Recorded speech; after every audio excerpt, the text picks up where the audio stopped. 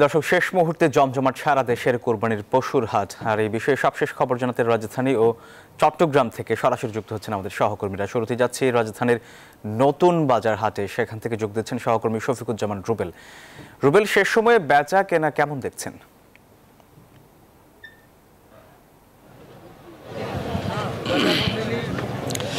সোহাগ আমরা সারাদিন এই রাজধানীর বিভিন্ন জায়গায় ঘুরেছি। সারাদিন এই মোটামুটি আজকে যে শেষ দিন বেচা কিনা আমরা দেখেছি হাট ভিত্তিক কিন্তু খুব চলছিল। যদি আমি একটু বলতে চাই যে এর আগে আমরা ছিলাম বসিলা হাটে সেখানে কিন্তু প্রচুর পরিমাণ আমরা দেখেছি যে বেচা কিনা হচ্ছে সেটা আমরা আগের বুলেটিনে দেখানোর চেষ্টা করেছি। বর্তমানে আমি রয়েছি নতুন বাজার হাটে এখানে আমাদের পিছনে দেখতে পাচ্ছেন যে পিছনে কিন্তু বেশ কিছুটা জায়গা জুড়ে কি গরু রয়েছে এবং কাস্টমার রয়েছে। আমরা বিক্রেতাদের সাথে কথা বলেছি তারা বলছেন যে আহ, গরু পর্যাপ্ত থাকলেও কিন্তু গতকালকে মোটামুটি কাস্টমাররা কিনে নিয়ে গেছেন এই হাটের। এই জন্য এই হাটে খুব একটা আসলে ক্রেতা পাচ্ছেন না। তবে যেটা বসিলা হাটে দেখেছি, গাবতলি হাটে দেখেছি এবং মেরাদি হাটে দেখেছি যে আজকেও কিন্তু পর্যাপ্ত পরিমাণ গরু বিক্রি হয়েছে এবং সেই গরুর সাইজগুলো মাঝারি সাইজ যেটা বলার চেষ্টা করছিলাম। এবার কোরবানির ঈদে প্রচুর পরিমাণে গরু কিন্তু রাজধানীতে দেশের বিভিন্ন প্রান্ত থেকে এসেছিল এবং যোগান থাকার কারণে দামটাও ছিল হাতের নাগালে। তুলনামূলক ছোট গরু থেকে বড় গরুর বেচা বিক্রি ছিল কম এবং সেটা যদি আমি বলি যে অনেক বড় বড় গরু যেগুলা দশ লাখ টাকার উপরে সেই গরুগুলো অবিকৃত রয়ে গেছে এবং দুই লাখ থেকে এক লাখ টাকার নিচে এবং সত্তর হাজার টাকার উপরের যে গরুগুলো রয়েছে সেই গরুগুলো কিন্তু প্রচুর পরিমাণে বিক্রি হয়েছে।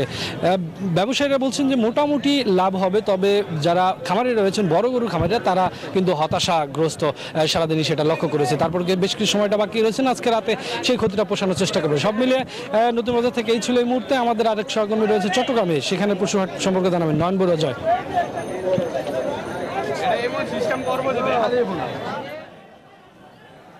ধন্যবাদ রুবেল আপনাকে। আপনি যেমনটা ঢাকার বাজারের খবর জানিয়েছেন, তেমনিভাবে বন্দনগরী চট্টগ্রামের সাগরিকা গরুর হাট বলতে যে অনেক বড় গরুর হাট, এখানে এখনও পর্যন্ত আমরা দেখছি একটা তাদের সমাগম যেমনটা বেড়েছে, তেমনিভাবে হাটের মধ্যে অনেক গরু এখনও থেকে গেছে, তবে বিক্রিও হয়েছে বলে আমাদেরকে জানিয়েছে যে হলো, যেহেতু প্রত্যন্ত অঞ্চল থেকে গরু নিয়ে এসেছেন খামারিরা, তবে গরু এখনও পর্যন্ত হাটে আছে, যারা ক্রেতা তাদের, তাদেরও সমাগম আছে।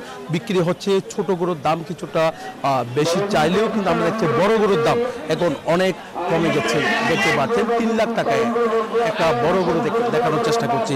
এই গরুর দাম তিন লাখ টাকা চাচ্ছে বলে আমাদেরকে জানিয়েছেন। এখানে যারা ক্রেতা, তারা যেমনটা জানিয়েছেন যে গরুর দাম যদি আরেকটু কম হতো তাহলে সহজ হতো। তারা শেষ মুহূর্তে, যেহেতু রাত পোহালে কোরবানি ঈদ এখন শেষ মুহূর্তে তারা গরু কেনার জন্য ছুটাছুটি করছে। আবার কেউ কেউ অনেক আগে কিনে বলছে। শুধু গরু নয়, আমরা দেখাতে যাচ্ছি ছাগলও দেখতে পাচ্ছেন।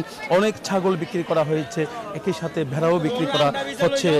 দেখতেছি এখানে গরু, গরুর পাশাপাশি ছাগলের দীর্ঘ সারি আপনি দেখতে পাচ্ছেন। এখানে যারা ক্রেতা, তারা গরুর পাশাপাশি ছাগলও কিনছে। যেহেতু চট্টগ্রাম বলতে যে কোরবানি পশু সবচেয়ে বেশি জবাই করা হয়, তার কারণে এখানেই বিক্রি হয় সবচেয়ে বেশি। একই সাথে গরুর পাশাপাশি ছাগল কিন্তু অনেক দাম তারা চাচ্ছে বলে আমাদেরকে জানিয়েছেন।